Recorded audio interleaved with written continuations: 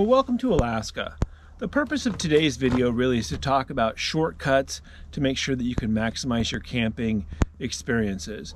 And so over the years, I've developed some tips and tricks, I think, that make it so it's easier to go camping. I'm going to go win winter camping today, but there are a few tricks that I use that work really year round. Um, it seems like each season ends up having its own special gear, uh, but by and large, there's some themes that we can use throughout the year to make our lives easier. So my first trick really is I keep all my camping stuff in one place. Um, right now I have it in the back of my truck and after this trip I'll take all my gear out, I'll dry my tent, I'll dry my sleeping bags, I'll wash all my dishes, do everything, and I'll repack everything so it's ready to go. Dry my tent here. See I got it all hung up here.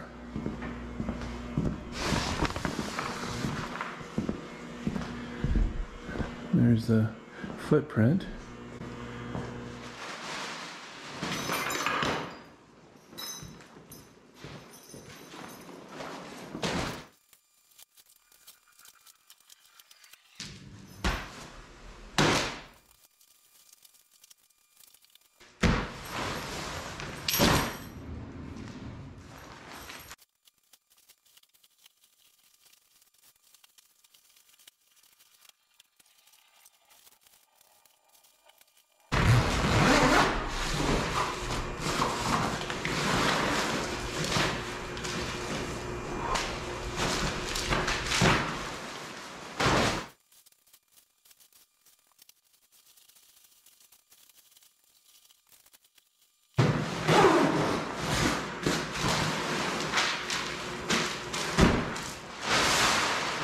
Put it right back into my storage area or directly into my truck depending on if I'm going to use my truck for something different.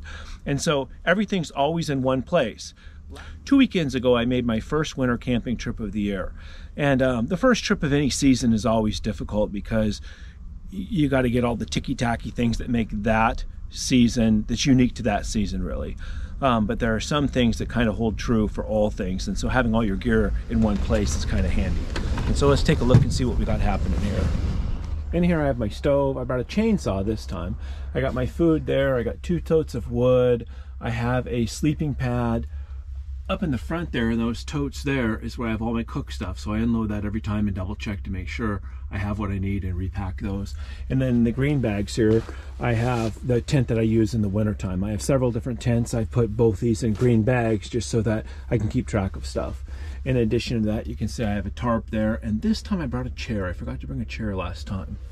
And then in the back of my truck, I don't like to put my sleeping bag in the back.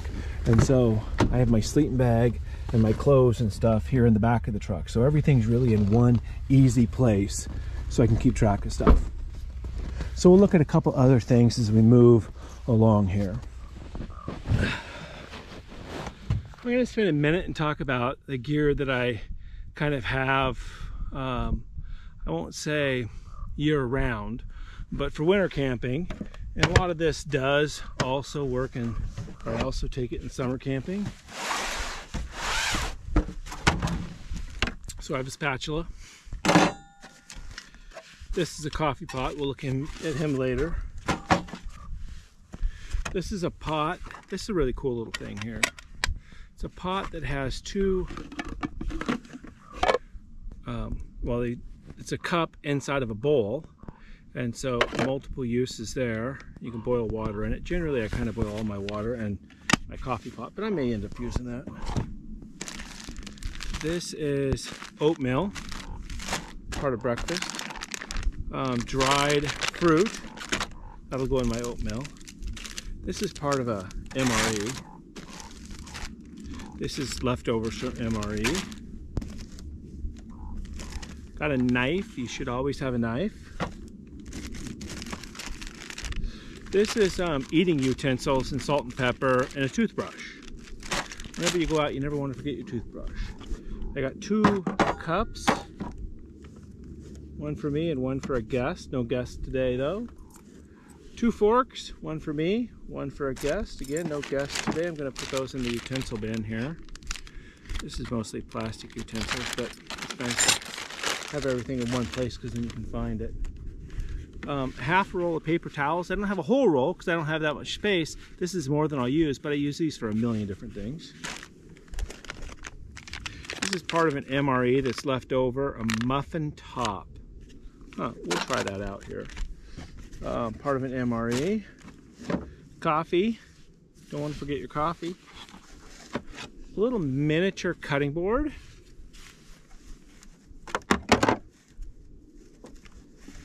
I have two, so then I have two towels that I put stuff in, and there's two, well there's one plate here,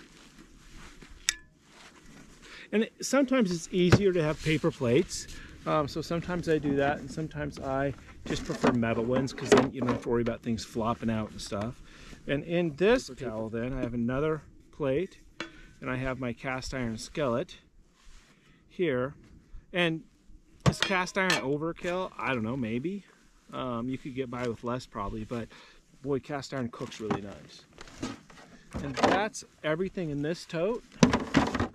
I'll put it back and we'll tune in in a flash here. In this other tote then, I've got a full MRE. This is beef patty, and that's um, this is like my backup food. If things, I brought enough food for this trip but if I end up being delayed out here or something weird happens or I can't get a fire started or whatever, at least I have a backup meal. Not my first choice though. This is a bunch of dryer lint, like more than a season's worth. I overpacked that. I have some oven mitts here and I use these really for my stovepipe a lot. And then I may use them for um, lifting my skillet off and things like that. Roll of toilet paper. I don't need a whole roll, but that's what got put in here. This is medical stuff, band-aids, um, all kinds of stuff. A pair of, extra pair of gloves. These are like super gripper gloves, but they're not warm. Bic lighter. I have two batteries, and these I can charge my, I can recharge my phone, I can charge my GoPro batteries, I can jumpstart my snow machine. Headlamp, this is like an everything bag. I have a Leatherman in here, some extra batteries, some cord, um, some Carmex. Got a light for my tent. Another bag of things. Um, looks like there's some, oh, there's some hand cream in there. When you're out like this, the air is really, really dry. And so it just sucks everything out of your skin. And then you're going to get your hands wet and dry and wet and dry and wet and dry. And so it's always nice to have some hand lotion. I got a little miniature hatchet that I use inside my tent a lot. A face mask in case things get really cold. A lighter. You always want to have a lighter on your person because when the butane in them gets cold, it doesn't pressurize, and so it does not light. Oh, that one lit. Look at that. Now it won't light. But if it's warm inside, then it will pressurize and you can use it. And some extra batteries for my lamp there. And then I also have in here, I have some, I put some rubber gloves in here and I use these when I'm messing with my stovepipe. That way I don't get my hands all grimy and stuff like that. It just, that way you don't have to get them wet to get them clean. And that I want to, I got my GoPro charger. Um, and that's everything that I have in these two totes. And when I get home, I'll take these in the house, I'll unload them, I'll wash everything, pack everything back in there, recharge my batteries, put it all back in there, and then I move it back out where I have all of my camping stuff. So it's always in one place. If you have it scattered, one of these over there, and I put that over there, and this over there, you'll always forget something. So I clean it all up. It's like the day I get home, and then I put it all back in one place so it can easily be found. Um, so those are some tricks that I've learned along the way. Welcome to the bunker. Well, it's really not a bunker, it's just an enclosed travel trailer. But bunker sounds way cooler. Um, right now I'm using it for storage. I have all my winter camping gear in here my since the last trip. I've taken my tents out. I've dried everything there, repacked them. I've unpacked my food totes, washed everything in there, repacked food in here, repacked clean dishes in here.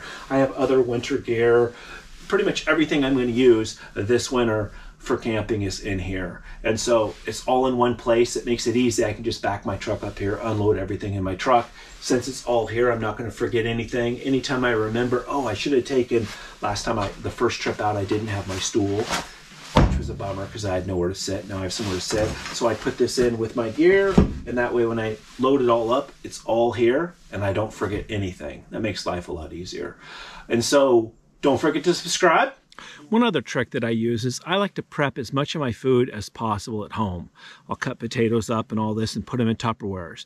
And that way when I get out here, I don't have to do all that food prep. I can just dump it in there. And so in there I got potatoes, onions, carrots, peppers, and cook it. And you probably see that in a lot of my videos here and there, but I think that's a huge trick. If you haven't been doing that, that's, that's a win every day.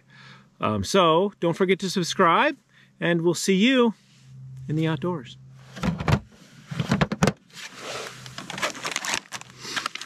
So this is an MRE, it's called a maple muffin top. I haven't eaten since breakfast and it's way past lunchtime. So let's take a look here. Oh, let's see if we can get out in one piece. Mm, kind of, sort of, almost. There we go. And it has a little moisture sucker thing in there. Don't eat that. That's everything that's in there. So I guess it's at the top of a muffin maybe? I don't know.